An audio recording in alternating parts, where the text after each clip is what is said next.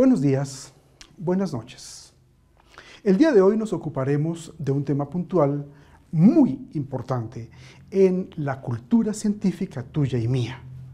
El tema es, ¿qué es la mecánica cuántica? La mecánica cuántica no debe ser confundida, usualmente allá afuera se hace, con temas como la física cuántica o la química cuántica y otras cosas. La mecánica cuántica es un muy robusto, muy técnico y muy difícil aparato matemático que se empieza a desarrollar en ah, los años 1925 en adelante. La primera etapa queda verosímilmente eh, gestada hacia 1927-28. Ya voy a decir un par de cosas sobre esto. Y eh, es el aparato matemático que se inventan estos caballeros, ya sabes, mm, Bohr, Schrödinger, Heisenberg y tantos más, para explicar fenómenos y comportamientos cuánticos. Eh, el mundo cuántico es un mundo altamente contraintuitivo, que nos permite literalmente comprender otras realidades, otros fenómenos. La mecánica cuántica, y este es el tema eh, principal que quisiera sugerir el día de hoy, es la mejor teoría jamás desarrollada en el mundo para explicar cualquier cosa. Quiero decir, para explicar el mundo, la naturaleza, el ser humano, la vida, ah, ah, eh, lo que sea. es imposible llevar a cabo una comprensión de las cosas, por ejemplo, en términos de economía, por ejemplo, en términos de, biología o matemáticos, sin atravesar medularmente por la mecánica cuántica. Allá afuera hay mucha habladuría sobre esto. Ya se habla del yo, del yo, cuántico y el inconsciente cuántico, la organización cuántica, te descuidas y el zapato cuántico y lo que tú quieras. Y ese es el sentido de eh, la presentación del día de hoy. La mecánica cuántica se inventa unos números nuevos para explicar fenómenos y comportamientos cuánticos. ¿Cuáles? Por ejemplo, la radiación de cuerpo negro de Planck, uno, dos, por ejemplo, el famoso experimento de la doble ranura de Young y, ah, desde luego, el efecto fotoeléctrico ah, formulado por Einstein en 1905 y muchos otros. Análogamente a como Newton, en realidad Newton y Leibniz, se inventan un lenguaje, eh, una matemática, la matemática es un lenguaje, para explicar eh, eh, el movimiento y las dinámicas. Ese lenguaje es el cálculo, el cálculo infinitesimal, integrales y derivadas. Asimismo, la mecánica cuántica se inventa un lenguaje, es una nueva semántica para decir las cosas y para decir cosas nuevas. Y se inventa, por ejemplo, unos números que tú y yo no conocemos, por ejemplo, el número principal, por ejemplo, el número azimutal con Z, por ejemplo, el número orbital o el número spin.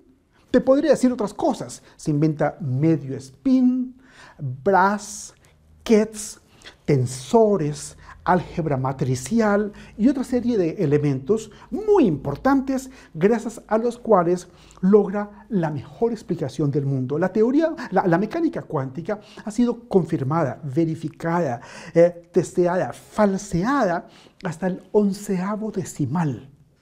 Tú y yo conocemos muchas teorías. La teoría de la relatividad, la teoría del Estado, la teoría del derecho, lo que tú quieras. No hay ninguna teoría científica, es decir, ninguna comprensión o explicación del mundo que haya sido verificada, testeada como la mecánica cuántica. El tema interesante es que la mecánica cuántica no está concluida. Eh, en 1925 empieza a nacer. Ya vamos a cumplir 100 años de esto, gracias a eh, la famosa ecuación de Heisenberg, en 1926, um, Schrödinger formula su ecuación de Schrödinger, que se llama así, que da lugar a la mecánica ondulatoria. Eh, en 1927, uh, ah, Max Born eh, desarrolla y con, ¿cómo se llama? con Heisenberg el álgebra matricial y otros elementos. En otro programa es un poco más técnico, hablaremos de esto. Pero muy fundamental, se sigue desarrollando se sigue desarrollando. Por ejemplo, en los años 60, eh, dos científicos muy importantes que tú y yo no conocemos, Richard Feynman y Tomonaga, un japonés, reciben el premio Nobel por los desarrollos de la electrodinámica cuántica. Se sigue desarrollando hasta el día de hoy. Es un, aparato cognitivo, un aparato matemático, una semántica muy importante que no ha terminado de, de, desarrollarse, de desplegarse y es un motivo de vitalidad del conocimiento, etc. Ok, gracias a la mecánica cuántica, entonces podemos entender que la teoría cuántica se articula en cinco dominios hasta el día de hoy. Cronológicamente hablando, esos cinco dominios son la física cuántica, la química cuántica, todas las tecnologías basadas en principios y comportamientos cuánticos, como el computador tuyo y mío, la cámara, el celular y demás, la, eh, em, eh, biología cuántica eh, y finalmente las ciencias sociales cuánticas. ¿Por qué es importante esto? Porque es imposible llevar una buena explicación o una buena comprensión del mundo o de una parte del mundo sin atravesar por este aparato. Lamentablemente, las ciencias sociales y humanas en América Latina, la inmensa mayoría de explicaciones ah, de eh, investigación, el mundo académico, etcétera, forman parte de las ciencias sociales. Las razones son obvias, son históricas, son culturales, es el deseo de futuro y demás. Son al día de hoy, en su eh, eh, escenario general, precuánticas.